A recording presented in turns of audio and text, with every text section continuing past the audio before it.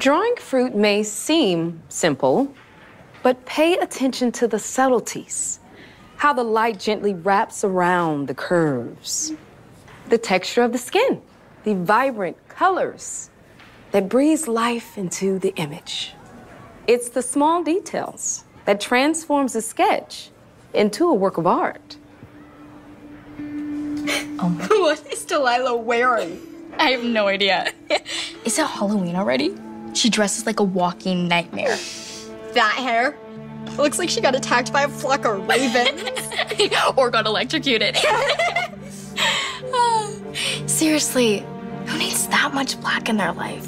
She probably thinks she's so edgy and cool, but she just looks ridiculous. and did you see those spikes? Oh my god. Ew.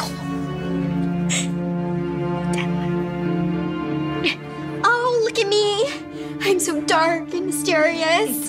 I'm Delilah, the emo queen. I bet she cries to sad songs in her room all night. I wouldn't be surprised. She tries way too hard. I know, right? She's pathetic. You're pathetic.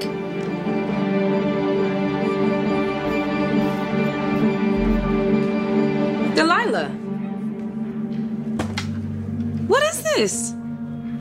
You completely ruined this painting.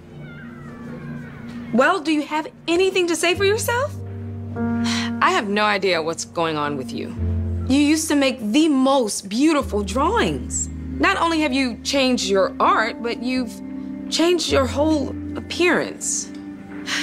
Three months ago, I would have said you were guaranteed to win that art contest, but now, I'm not sure. Do it again. Take it home. And don't destroy it with all that black.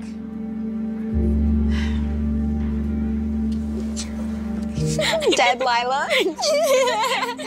That's what her parents were thinking anyway. Right? Wow. Brooke? Amazing job. Thanks, Miss Strickland.